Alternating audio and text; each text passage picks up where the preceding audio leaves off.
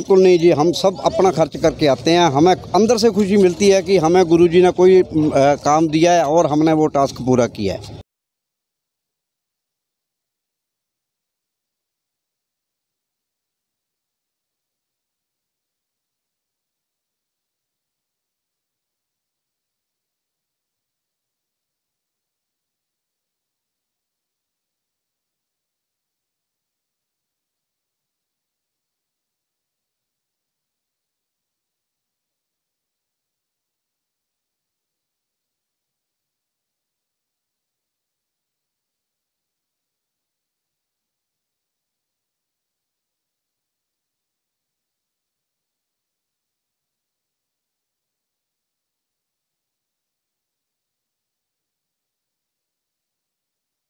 सफ़ाई महाअभियान में हम यहाँ गुरुग्राम शहर में आए हैं।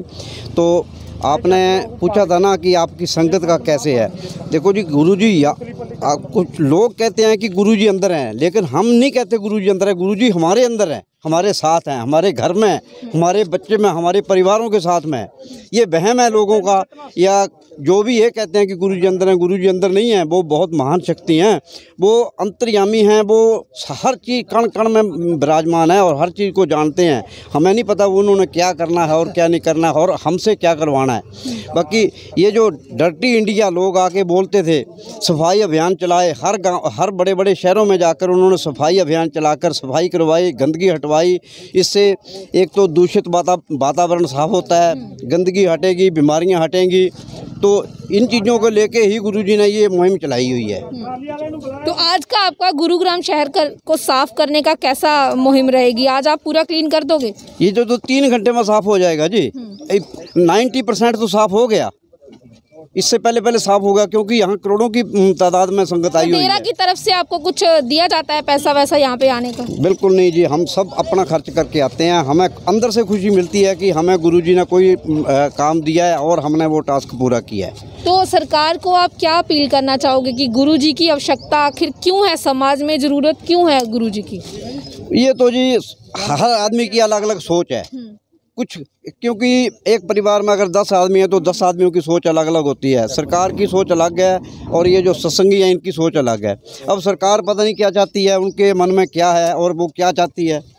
हम तो यही चाहते हैं कि गुरुजी, जब अंदर बैठे हैं और इतने भलाई के कार्य हो रहे हैं, अगर हमारे बीच में आएँगे तो पता नहीं क्या से क्या हो जाएगा। तो और बाकी दूसरी बात यह है कि डेरा सच्चा सौदा ने आज तक बुरा क्या किया है? इतने अच्छे मानवता भलाई के कार्य हो रहे हैं कार्य करवा रहे हैं तो उनमें क्या बुराई वाला काम है? क्या काम किया है? कोई ऐसी कोई पॉलिटिक्स में नहीं आते? किसी किस्म के कोई उन्होंने क्या और क्या मानवता भलाई के काम करते हो आप? जैसे बहुत ज़्यादा है जी मानवता भलाई के काम।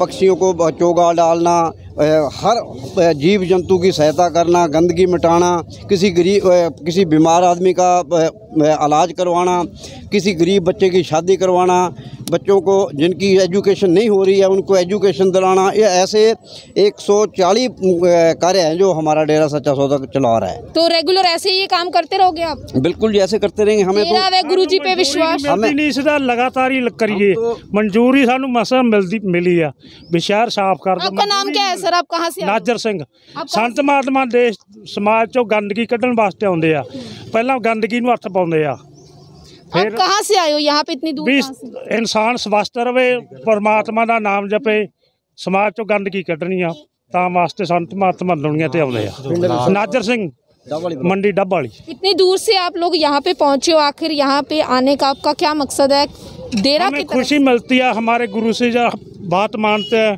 अंदर हमारा खिल उठता है बहुत खुशी मिलती है यानी पूरा सी बोल के बयान नहीं कर सकते इतनी खुशी मिलती है इन लोगों की भावना, इन लोगों की आस्था आज भी बाबा राम रहीम जी पे वैसे ही बनी हुई है। इनका जो कहने का यहाँ पे मकसद है कि ये डेरा के साथ जुड़े हुए हैं। इनको रियल हैप्पीनेस मिलती है, खुशी मिलती है।